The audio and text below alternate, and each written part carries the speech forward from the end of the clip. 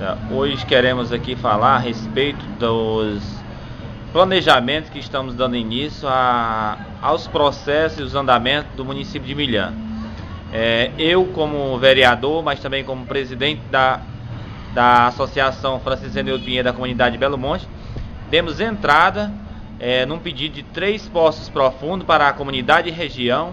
Também, juntamente com a Associação de, do Sítio de Segurança, encaminhamos três postos profundos, também eu pedi de três postos profundos, para também aquela comunidade e regiões, onde sabemos que a seca é escassa na nossa região e a necessidade que esses poços profundos venham ser é, perfurados e venham é, dar água com suficiência para que há abastecimento daquelas comunidades.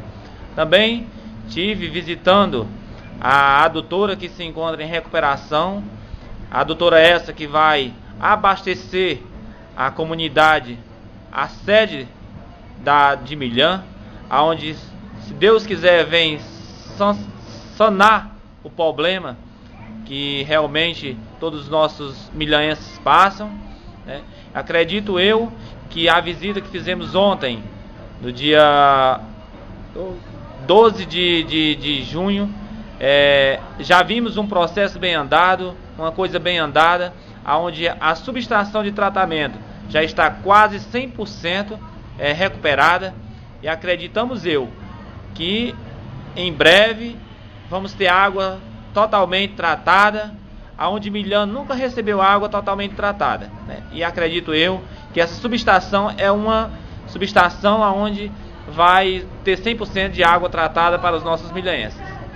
É, também demos entrada num pedido, juntamente com o senhor prefeito Otacílio Macedo, é, de aqueles colégios, antigos colégios é, do município de Milhã, que esses colégios fossem passados para que as associações, as entidades pudessem tomar de conta e que esses prédios não viessem a cair.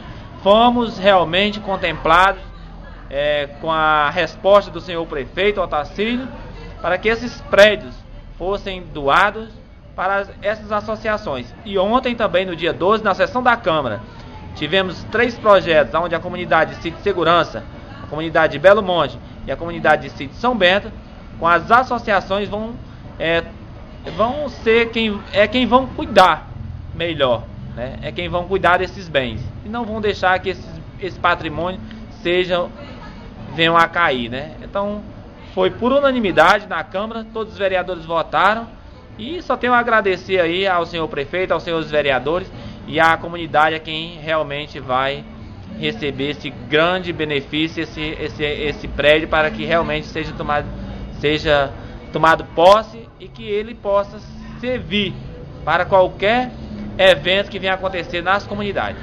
Muito obrigado.